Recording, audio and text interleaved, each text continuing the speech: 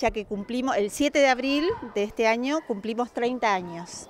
Se inauguró eh, en ese día, en el año 1987. ¿Cómo la encuentra la escuela este aniversario?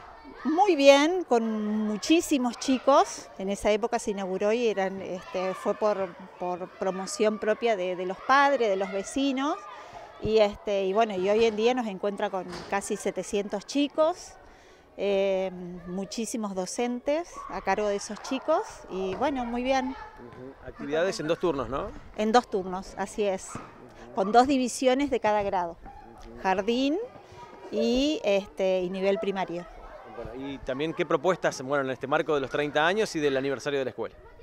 Bueno, eh, las propuestas es de siempre, o sea, la educación de los chicos, primero de todo, este, continuar como estamos ahora, creciendo día a día, eh, la cantidad de, de, familias que vienen todos los años a inscribirse es muchísima, por ahí no nos da la capacidad de la escuela para, para inscribirlos a todos, pero bueno, o sea, eh, fundamental es seguir creciendo y acompañando en la educación de los hijos. ¿Alumnos de qué barrios?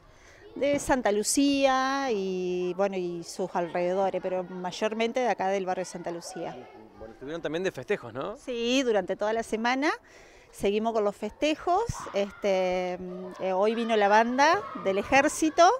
Los chicos estaban muy contentos, bailaron y bueno, y han venido ex directivos, eh, ex vecinos a contar su, su anécdota de cómo, de cómo surgió la escuela, digamos. En escuela muy arraigada además en el barrio. Totalmente, sí, sí, sí, muy arraigada y, y muy, muy conocida y muy valorada. Este, así que bueno, estamos muy contentos.